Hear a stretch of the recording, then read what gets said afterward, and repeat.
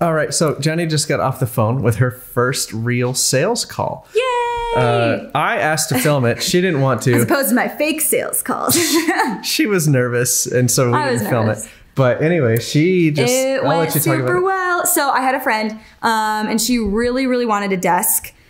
I was like, sure, we can do that. And so I kind of like swung for the fence at first. I didn't know what her budget was. Or She was too scared to ask for the money. I was a little scared to ask for the money, but uh, I laid out everything. Um, found out how long she wanted to last. Turns out she wants to use it for grad school. She wants it to last like two, three moves from now.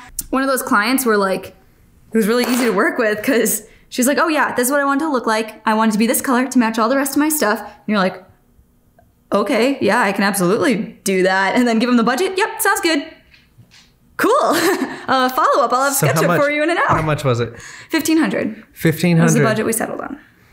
I told her to do three thousand, but she wouldn't Oh do my it. goodness. Anyway, that's the thing is like you don't you don't know how much a customer is willing to spend until you paint them a window and they tell you where in that window that they're going to fall. So, you know, like we yeah we could have sold her a two or three hundred dollar desk, but we didn't know that she was wanting a fifteen hundred dollar desk. Yeah, I mean, we didn't know that she wanted to make it two, three moves and go through grad school with it and everything. That, I mean, that's different. That is different. You're gonna want a desk that's sturdier. You want a desk that doesn't like indent when you write on top of it. That automatically means the top's probably not gonna be out of pine. And that's a, yeah. that's the thing with a lot of the people that we work with is they move around a lot, and so a big selling point to them is furniture that doesn't get destroyed by mm-hmm. moving companies. Now, of course, we can't guarantee everything, but There's a way to build it where you can. I mean, you can double up on your. There's a lot of stuff you can do. Just Yeah. little things. well, anyway, so this will be a nicer build than what you've seen on the channel in the mm-hmm. past. So It'll be kind of fun. for all of you that actually want to see some actual hardwoods that aren't pine,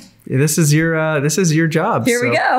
Um, you asked for it. yeah. We provide. Anyway, that and then later soon, hey, start asking around. I want to build a big kitchen table, like a big farmhouse kitchen table out of like ash Okay. or something. So if you ever hear anything about it like that, keep an ear out. I'm gonna keep it all to myself. okay. Okay, bye. Anyway, aren't you excited? This is your first sale. Like this is a rite of passage. Isn't there like an adrenaline rush that comes with it? I'm very happy. Aren't you like super excited? I'm very excited. Aren't you glad I convinced you to make this call instead of letting me do it? Sh- yes.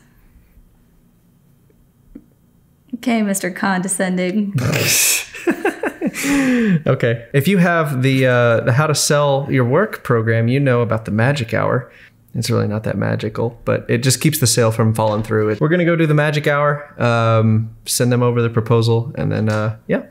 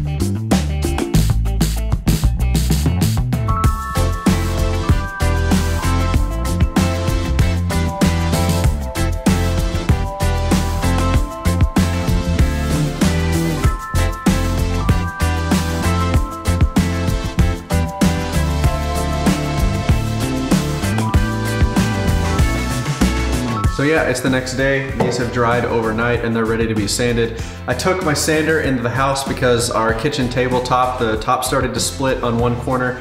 So I just had to epoxy. I didn't have very many tools when I made our kitchen table. So I just had to put some epoxy in the split and then put it back together. And I was sanding the epoxy down and refinishing it. And I noticed my sander was pretty much almost dead. The motor was bogged down and I'm gonna take it apart and blow it out and everything, but I don't really have time to do that. I've got to get this done. So I went and got another sander.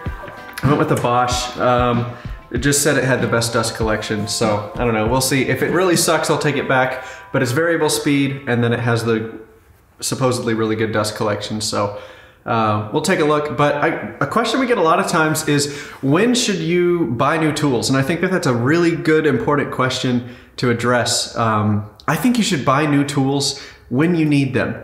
And I think I've talked about this before in another video, but if you're focused on saving money and oh, I can I can make this tool stretch longer, I can save some money, I can like you're no longer thinking about bringing money into the business. Now, don't go off and spend thousands of dollars on tools that you don't need or, or you know don't have a use for yet. Don't buy an expensive tool and then use it all the time when you really don't need to on every project just to justify you spending the money on it. That's not a good way to think about it. Don't worry about the money going out of your business. Buy what you need to get the work done but really you should really be focused on okay when can i make the next sale? When can i bring money in? This is a good week for us as far as like lining sales up and I mean, we've got enough projects now to last us till the end of the winter and then well into the spring. So I went ahead, got a new sander. That's something I use all the time. Don't even think twice about it. Just pick it up. If it's going to take me more time to take the sander apart and clean it, and put it back together than it is just to buy another sander, I'm just going to buy another sander. So remember, you got to think about your hourly rate too. If it takes you three hours to take this sander apart, put it back together, and then, oh, you put something back together wrong and now it really doesn't work. Now you got to go buy another one. You've just lost two or three hours worth of labor you could have been working on projects, and then you had to go buy another sander anyway. Just go buy the tool. If you know you're going to use it, don't worry about it. You should be focused on bringing money into the business, not how much money is leaving it. And if you've got too much money leaving your business, just so you can operate to pay the bills, to pay for new tools, to pay for upgrades, then you're not making enough sales. If you're really worried about how much money that costs or that you can't afford it, you need to be focused on sales because, again, the solution to not enough money is not to save it and hoard it and hold on to it. The solution is to put more money into your bank account. So with that being said, I'm gonna put wood filler in the edge grain of this plywood here. Yeah, we'll get it ready for paint. So I brought Jennie out here because I thought that this was a topic worth exploring. So on the note of new tool purchases, um, like today, the sander, ours is starting to bite the dust. We've been thinking about getting two sanders just to speed up production for a little while. It seemed like a pretty logical choice just for us to get another tool, but there's obviously more expensive tools. And, and when do you decide to upgrade those? It, that, I mean, that's a big question for your shop. It's going to change. There's obviously a learning curve with any new tool. Even if it's something as simple as a drill, you're going to have to take some time to slow down and figure out how it works and try to adjust your workflow accordingly. I think for us, it's we use that sander so stinking much. Every single project we're using that sander on. And it's one of those things where you don't realize how much you use it. And then if it's ever to stop working, like what an inconvenience. You know, it's like if your dishwasher broke in your kitchen, all of a sudden you're like, you don't realize how much you use your dishwasher until you're washing everything by hand. Because um, hand sanding kind of sucks. So that's kind of where we were at. We're like, look, if this one dies and we're like mid project, that's going to be a bummer. So when I was when I when we first started woodworking, how did I justify to you that we were going to buy new tools? Like I know I probably said a lot. I probably vomited a bunch of words at you, but what yes. what was the, what was the thing that like actually convinced you, "Hey, it would be worth it to spend the money on this tool?" I think some of it is like the time saver because at that point it was just a pain in the butt to be in the garage for so long and have to do like the the long way of a process rather than having something that helps you do it way faster. Yeah, but that was when you were helping. I'm talking about sooner, like when we first started building stuff. How did I justify to you, or like what made most sense to you when we spent money on tools? Honestly, it didn't make any sense to to me. I kind of just let you do it. And now that we're using the tools a lot, I'm like, hey, cool. Now we actually use them to build other people things. But at first, I, I didn't understand at all. It wasn't until we actually started building stuff for other people other than ourselves that I was finally like, oh, okay, yeah, this makes sense. Not yeah. even not even saving the money from like buying furniture. You don't think it was worth it then? I mean, it was worth it for little things like a drill or an impact driver or uh, an orbital sander. But when it came to like buying a belt sander and buying um, the drill press, and it's just a bunch of extras because at that point I didn't know how much woodworking we were going to be doing. I did think it was just personal little projects for our own furniture that we'd build in the garage. So anything that was like more than the basics or more than like what you would typically need, something that's a convenience. So it was really just the sales aspect of like, hey, we can actually get more money if we build things for other people. That made Yeah, then that made sense. But if it was just gonna be like a little hobby in our garage, I would. I would get to the point where I'm like, why? We, we have a circular saw, we have a miter saw, we have a jigsaw. So why are we getting a table saw or a yeah? But I mean, once we started doing a ton of projects, then it made complete sense. There you have it, from the mouth of a wife. If you make I am a sales, she will be more willing to let you buy more tools. So if for no other reason that you want new tools, start making sales. Yeah. So